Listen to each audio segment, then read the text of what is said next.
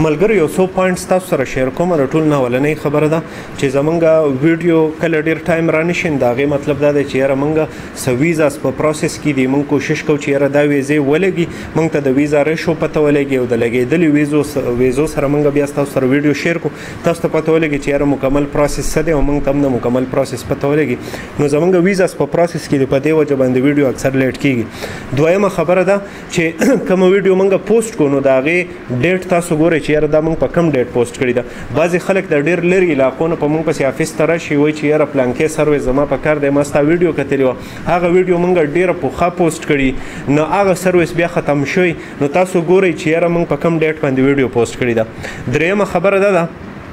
چې په ویډیو کې زه تاسو ته کومه خبره وکم کومه سرویس ایکسپلین کوم په ویډیو کې زیات تر زه دا وایم چې یاره په دې سرویس باندې ټوټل کاست څون راځي اډوانس کې به سوره کوي ویزا ریشو څونه ده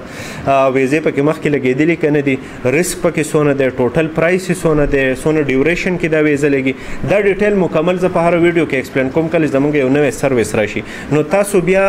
دغه مکمل ویډیو په ډیټیل سره ګورئ تاسو کوېسچنز به الریډي بیا انسر کیږي نو موږ ته په واتس اپ باندې یا په ایمیلز باندې دومره بیکلاک نه جوړیږي بل خبره ده چې زمونږ افیس سټاف چې کم دی هغه اني ټایم په افیس کې موجود دي صرف په فرایډه سنډه زمونږ چټي بقای ورځ باندې هغه موجود دي لکه شهزاد خان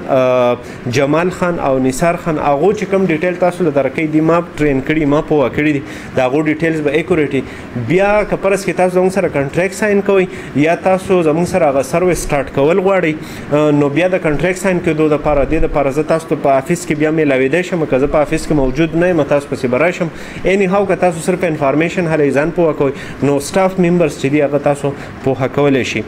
بل لا دی چې د زیات تر کسانو ګیله دا ده چې یاره په واتس اپ باندې په ټیم ریسپانس نه میلاویږي یا ډیر ډیلیډ ریسپانس میلاویږي